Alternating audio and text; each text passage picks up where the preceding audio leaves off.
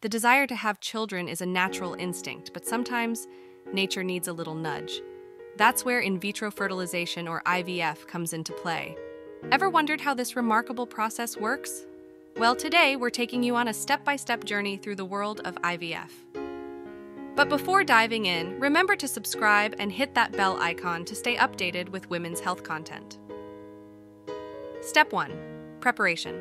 Before you start your IVF cycle, you and your partner will undergo essential tests and evaluations to ensure you're ready for this journey. From ovarian reserve tests, uterine cavity imaging, and infectious disease screening to seminal fluid analysis, ensuring your partner's sperm are optimal. Now that you have done all the tests, you are ready for the next step of IVF, which is controlled ovarian stimulation.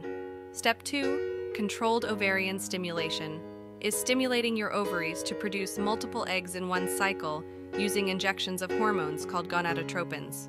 These hormones help your ovaries to grow and mature several follicles that contain the eggs. Step 3 Trigger phase. This phase occurs when your follicles reach a specific size, usually around 18 to 20 mm in diameter, and it involves administering a single injection of HCG or a GnRH agonist 34, 36 hours before the scheduled egg retrieval. Step 4 Egg retrieval. Egg retrieval is a minor surgical procedure performed under sedation or anesthesia, in which a needle is inserted through the vaginal wall and into the ovaries to aspirate the fluid and the eggs from the follicles. The procedure takes 15, 30 minutes and is done in an outpatient setting, meaning you can go home the same day. Step 5 Embryo fertilization.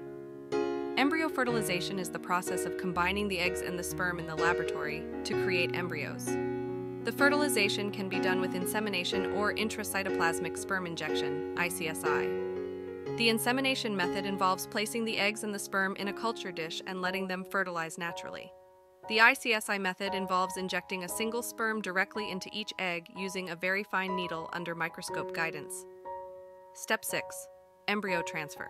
Embryo transfer is placing one or more embryos into the woman's uterus, where they can implant and grow into a baby.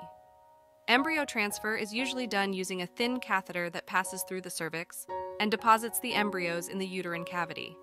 The procedure is painless and does not require anesthesia.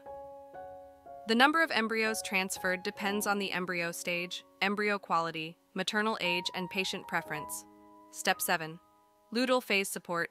To optimize embryo implantation and a continuing pregnancy, progesterone supplementation is initiated. This phase typically starts after the embryo transfer and lasts until the end of the first trimester.